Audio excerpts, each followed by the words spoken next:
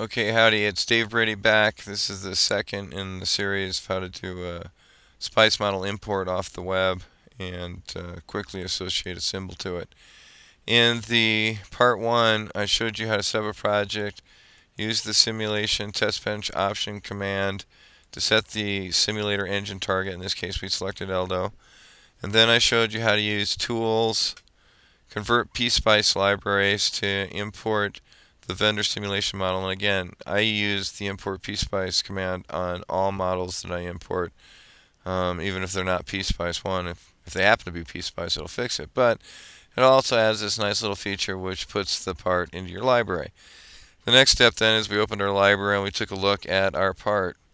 It generated a block diagram, so then we used the, the right mouse button on the part to set the default symbol, and we picked a symbol that was already out of our library that happened to be the same symbol, so that made it real easy. Um, then we came over and we um, checked our properties. We had to add the order property, otherwise it was all set up ready to go. And then finally we used the uh, edit mapping command so that we could edit the mapping between the symbol pins and the simulation model ports.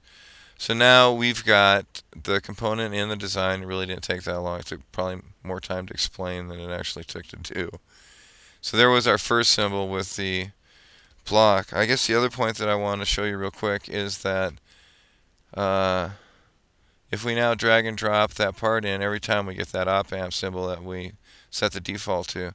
I wouldn't necessarily recommend this if you were going to um, instantiate more parts. And the reason I wouldn't is because if we went back and we looked at edit mapping, you notice that the mapping is back to its default state and in fact is incorrect. So the better approach is to go ahead and select the part that you've already set up, Control C for copy, Control V for paste and then click and then the new part sets up. Now if we take a look at this part, we'll notice the mapping's right. So it's a little detail. I'm sure, you know, powers that be will get this sorted out so it always works. But the point is for right now, if you want to get the job done faster, um, this is what I'd suggest because it works. So now we got two parts, but I only re really need one to validate that we actually imported the the uh, part correctly. So let's drop that in there. We're going to need a couple resistors. Let's go back to our component library. Let's find a resistor. And type in R, because our resistors start with R. And we'll go ahead and place the symbol. Now you notice when I place symbol by drag and drop it, I just get the 1. If I use the place symbol command, now I can drop down uh, two, three. It just leaves it on the cursor for you to click them in. So a couple different ways to do that. Now to get our design right, we're going to need a ground pin, at least one of those. We're going to need a couple of power pins. So let's give us a VCC. We're going to need oh, a DC power pin. And we're going to need a threshold power pin. Alright, so let's go ahead and fix these up a little bit. So let's change that to VReference. Set the net name at vref2. Make life easy. I think our VCC, that's already set up right. Alright, this we're going to make DC, so VDC. Got that set up. This is our open collector resistor, so Control Shift R, rotate that thing around. Connect those pins together, drag and drop. Alright, whoops, didn't really mean to do that. Control Z for undo.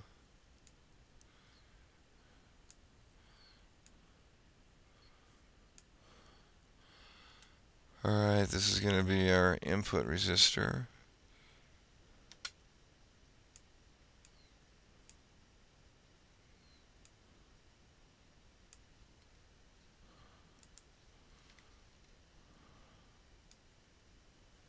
Voltage divider, control shift R, rotate that around, another voltage divider, element, couple of ports, input port,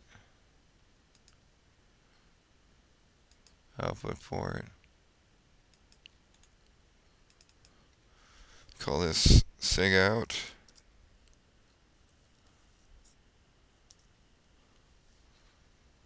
Call that sig in.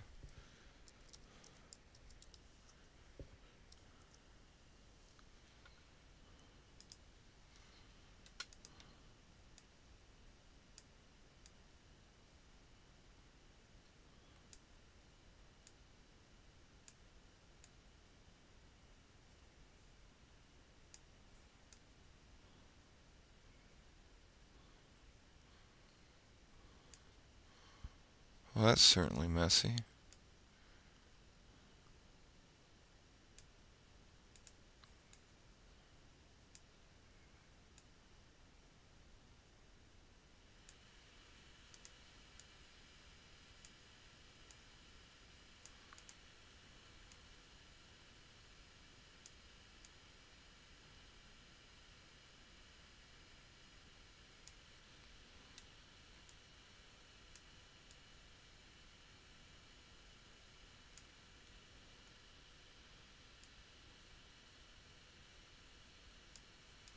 Now you'll notice I'm not using the net command. First off, I'm just clicking things together. Now I'm going to go ahead and use the net command to finish it off.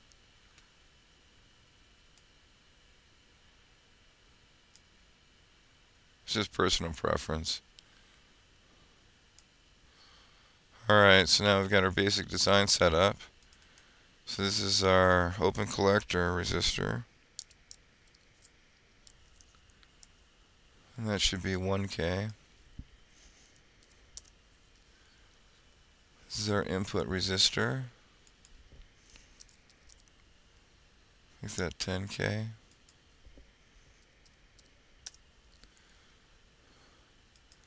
Our divider resistor.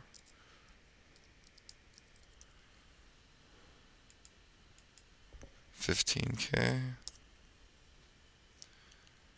our other divider resistor.